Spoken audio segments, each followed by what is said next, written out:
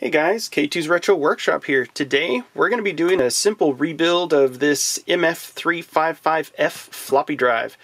This is the Macintosh floppy drive out of my Performa 630 CD.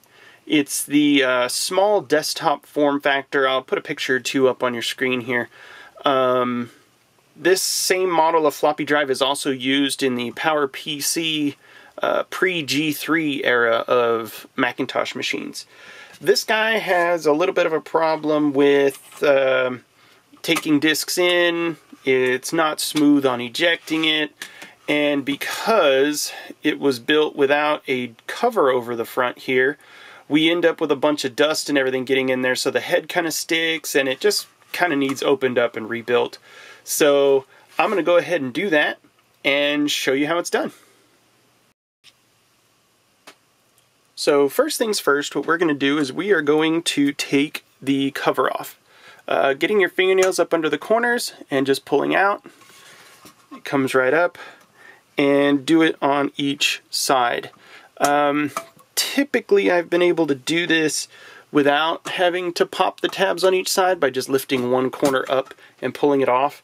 But if you see right here, the metal bends down a bit and tends to grab the edge that sticks out here. So you try to pull it up and it binds and yeah, whatever.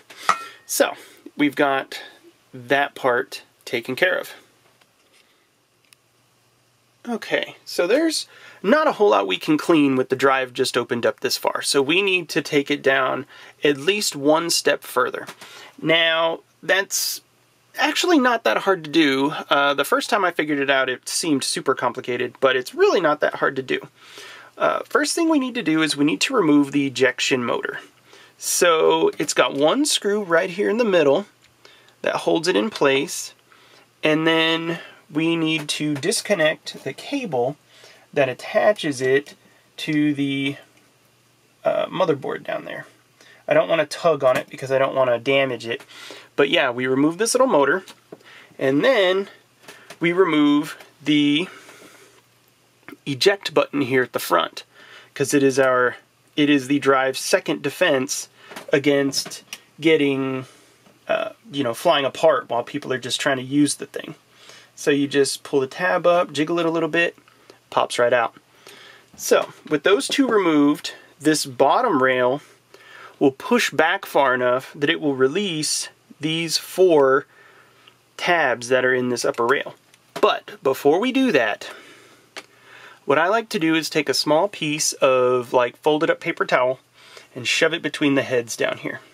And the reason I do that is because this head is being pushed down by a spring right here. This spring will be more than happy to slam the top head down into the bottom one when we remove this upper piece because as you can see here it's being held up strictly by this.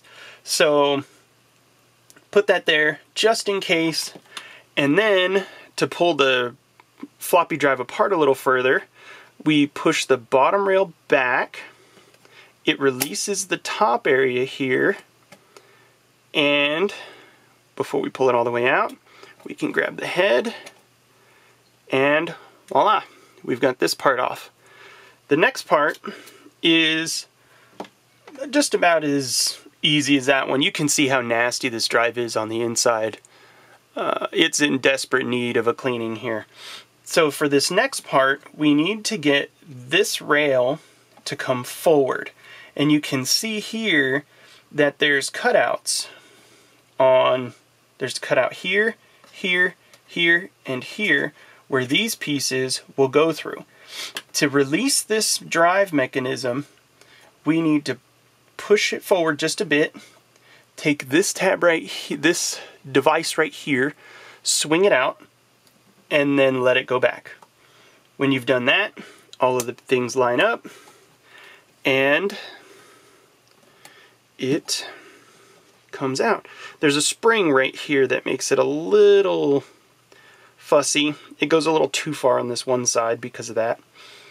So, if I could get it to go forward a little more, pop up, there we go.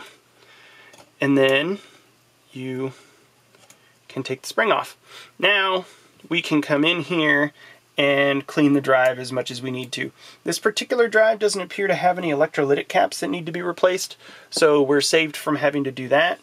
But while this is all apart, I mean, we can take this to our sink and clean it with a toothbrush and some soap and water. Same with this section. And then come in here and clean this up. I don't want to really take soap and water to this because it'll involve removing the head and all that and I don't feel like doing that. So I'm just going to come in here and try to carefully clean this and then we'll be back. So as you can see I decided to tear the whole drive down. Um, this gives me a great opportunity to actually clean it. This is the nasty bit we had before. It's super clean now uh, able to get it in the soap and water by taking all this stuff off. It's not that difficult to do. Was it necessary? Probably not, but I plan on keeping this computer for quite a while, so I decided to go ahead and do that. So I'm going to reassemble this back to the point that we were at before, the minimum you need to open it up to clean it, and then we will reassemble it from there. Alright, it's time for reassembly. I should go ahead and say that I don't recommend taking this drive down further than this. Uh, clean as much as you can in here. This little mechanism here will come off without a problem, but don't go into removing like the stepper motor and the head and stuff like that. You can end up with alignment issues that are going to cause problems in the future. I didn't think about that till I was reassembling this drive actually. And so this stepper motor here can be tweaked. And I'm going to have to see how the drive behaves when I plug it back in. And I should have marked it before I took it off.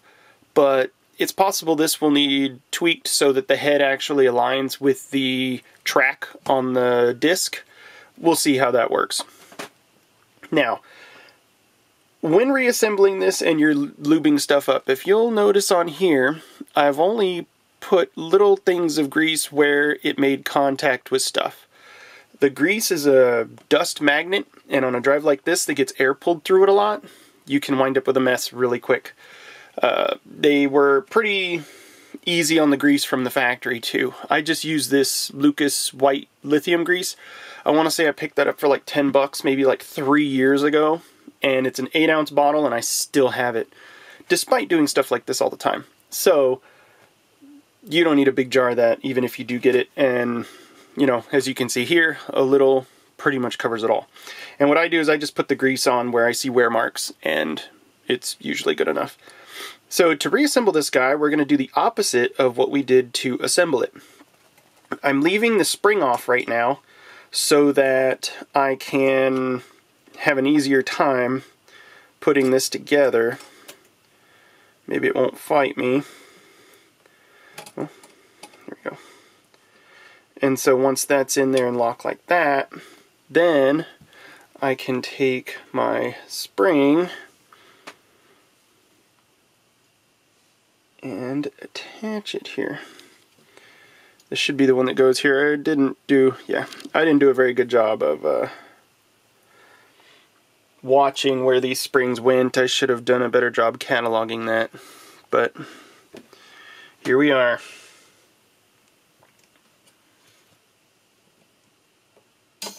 Alright, so that is that. That feels like the spring tension we should have there. And uh, for this guy, I didn't actually lube that. For that guy, we are going to put just a little bit of lubrication on the slide rails here. I use a Q-tip for this, and um, it, it slides up and down in these little channels, and you can see them fairly easily with the drive apart. Uh, you might be able to see it here on the camera where I'm going to be putting this white lithium grease. And this just makes sure everything moves smoothly. Like I said earlier, I plan on keeping this machine for a while, so. And to me, because I guess we use these in school and stuff, you know, growing up, the usage of the floppy drive on these has a very, you know, nostalgic sound and stuff to it. So let's go ahead and push our rail here back. Kind of hurts to hold that.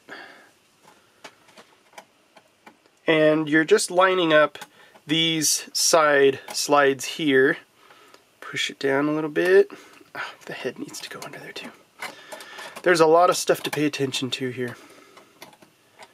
So you be careful not to bend the head springs and stuff too much. Get that down on there like that. Let it go.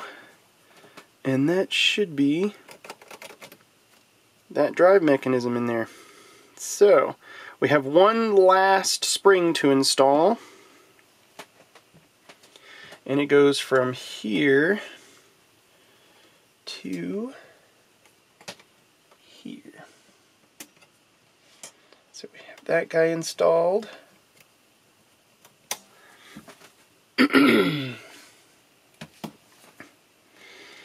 and we have our eject button and stuff to put in too. Um, we've got our eject motor here. So let's get that bad boy back in. This drive, before I started this, was actually so bad that this eject motor would run and wouldn't do anything. It just jammed. Uh, I even had a hard time getting a disc in it the first time. This drive was a bit of a basket case. But if it works, that'll be nice. So this motor sits in its own little carriage there. Little slot.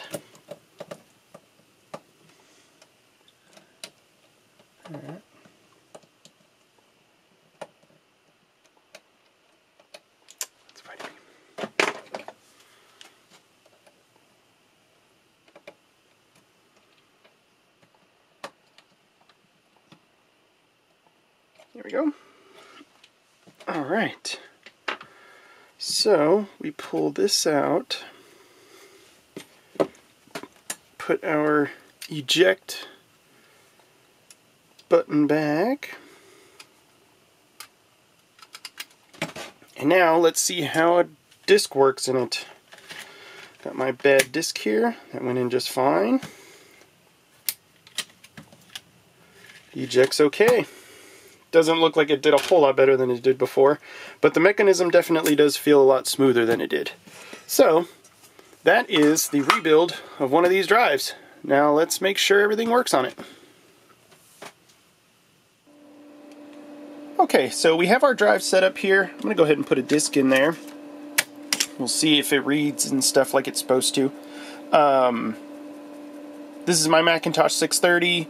Uh, I know this disk is good because I use this disk to actually get this machine going. And it's telling me that the disk is unreadable. So let's see if the eject works.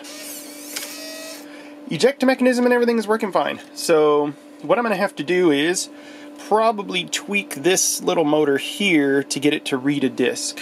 Um, I'm not sure exactly which way to go about tweaking that, but let's see if we can get that figured out. Okay. So what I'm going to do here is I, I was looking at pictures and stuff like that. I don't recall this part of the ribbon cable flaring out as much as it does.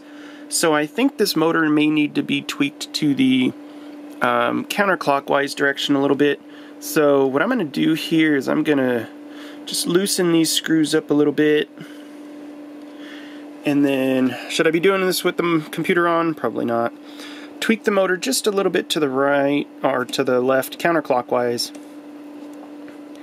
and then tighten it back up and then we'll see if the motor is lined up where it should be in order to read a disc. Um, you know, hopefully it's that easy.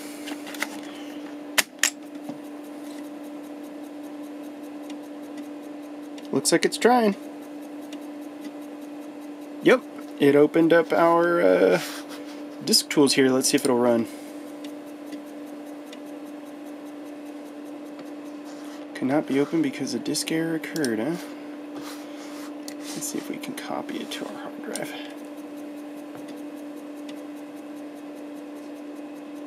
Okay, so it's still getting a disk error. So I'm going to eject the disk, tweak the motor a little bit more, and uh, see if I can get it to read without a problem. Alright, sweet. After a little bit more tweaking, I uh, was able to get this guy to work. So we can put our disk in there. Reads just fine. And I can go and copy off of the disk. And it just does its thing. So we now have a rebuilt working floppy drive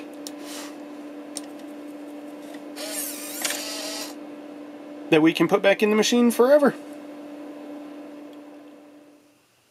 So yeah, hindsight's 2020, uh, obviously. Uh, make sure you mark your stepper motors. I put some Vibratite on there so it doesn't move around or anything anymore. Uh, make sure that you're, you've marked precision hardware like a stepper motor before you start removing stuff. And yeah, as long as you pay attention to what you're doing, um, this is a really simple the rebuild. If it wasn't for the fact that I was trying to record this stuff for you guys, I probably could have had this drive completely disassembled, rebuilt, and put back together in half an hour, if that. So it, it's really quick. A couple of things. Make sure you're testing the drive with just some, I mean, this is an IBM formatted disk that I just formatted to Mac even. Uh, make sure you're not using your good irreplaceable disk tools disks or something like that. Uh, I have tons of spare floppies around here. But bad drives have also given me plenty of these floppies around here. So these are good to keep around for testing the mechanisms and stuff too. You don't want to get dust and garbage in there while you're playing with these. Um, little note, my videos are going to be a little shorter like this, maybe a little more on the fly, because I just started uh, five classes for school again, and I work full time, so videos are going to be a little less uh, rehearsed than they have been getting to, and I've been trying for to make better content for you guys. But uh, I've got a couple little things like this to do, so I'll be trying to keep content flowing. It just isn't going to be, you know, a crazy 16 meg video mod in a Voodoo motherboard or something like that. But yeah, have a safe fall and I'll see you again soon.